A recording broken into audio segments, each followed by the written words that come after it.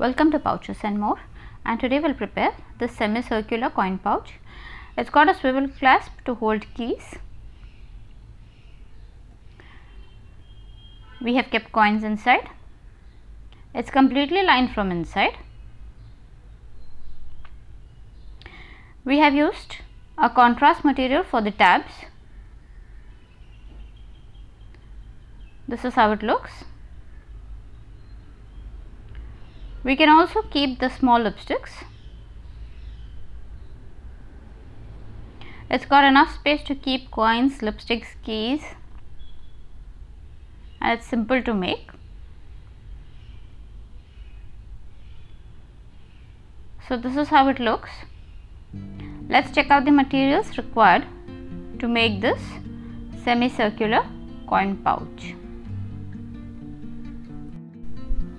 We require two pieces of main fabric fused with interfacing and two pieces of lining material and these measure 5 inches by 4 inches.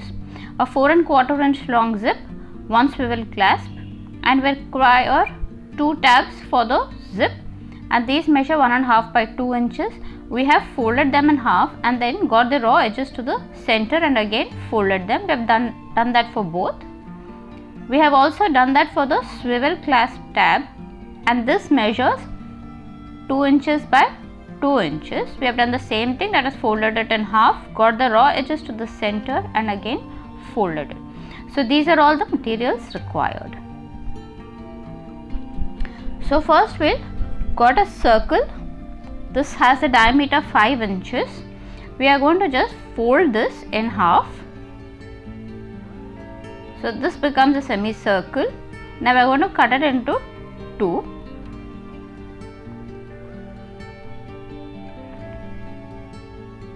So this has got a 5 inch diameter and we are going to place this on the main fabric. Before that we are just going to fold it in half.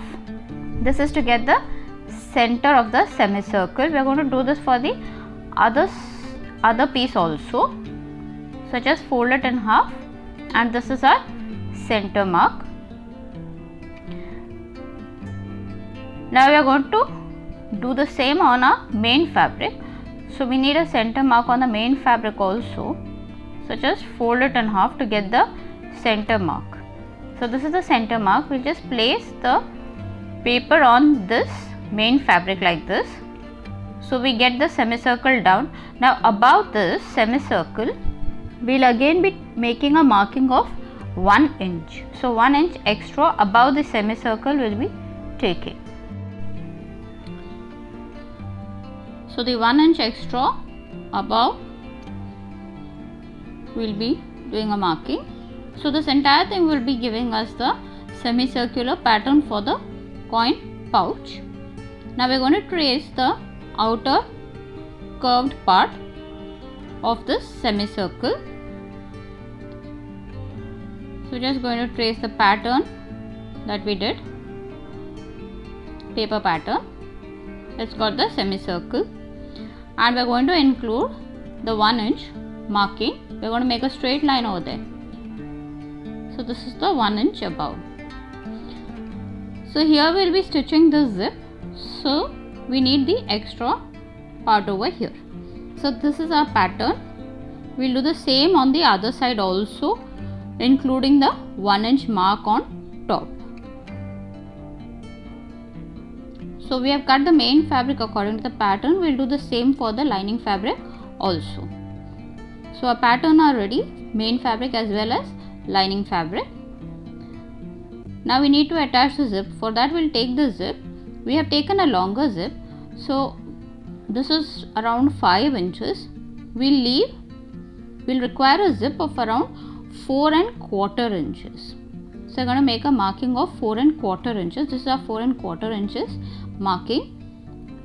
We'll just cut the extra of the zip. Before cutting the extra, we'll attach the not exactly attaching we're just going to clip the zip tab to the other side so we can move the slider so we'll just attach the zip tab like this on the other side and clip it now we'll pull the slider inside and cut the extra zip so I've cut the zip. And on the other side also that is the open end also we are just going to put the we want to insert this also into the zip tab and clip it.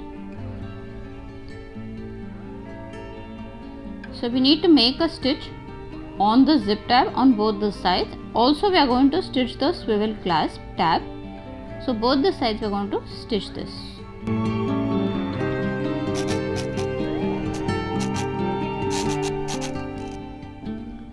we have stitched the zip tab as well as the swivel clasp tab. Now we'll insert this into the swivel clasp and clip it. We need to put this on the main fabric later on so we're just going to keep it aside. Now as of now we're just going to take a main fabric one side. The right side will be facing up.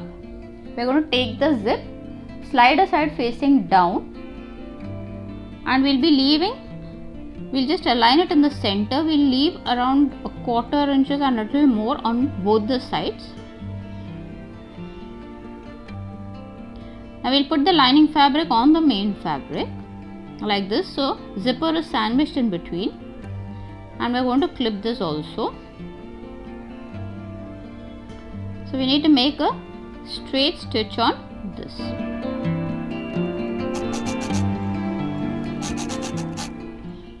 our stitch is done. We're just going to open it and hand press the main and lining fabric on one side together. We need to make a top stitch on this.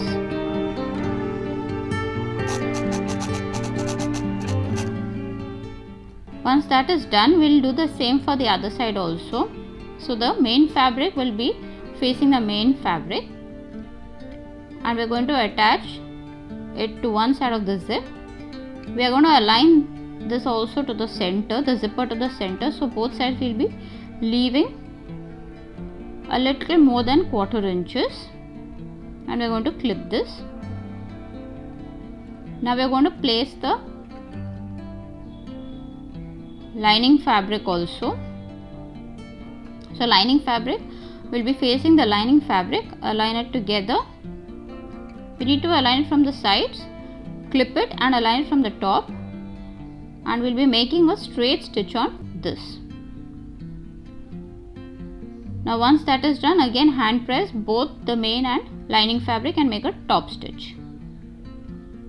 So our top stitch is done on both the sides. Now we'll put the main fabrics together right sides together and clip it. And put the lining fabric also right sides together and clip it we need to make a stitch all around. So before we stitch the main fabric we're just going to insert the swivel clasp along with the tab. So on one side we're just going to close to the zip. We'll place the swivel clasp tab like this. The raw edge will be aligning with the raw edge and the tab will be, uh, sorry the swivel clasp will be inside so we are just going to put the right sides of the main fabric together and we need to stitch all around. Now on the lining fabric side we are going to leave an opening. So this is the opening that we will be leaving for turning the whole pouch right side out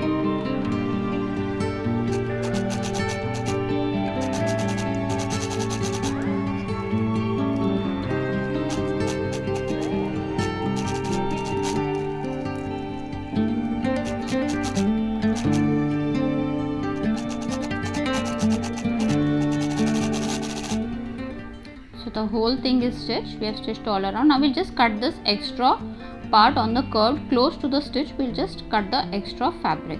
That is only on the curved part and then we'll turn the whole thing.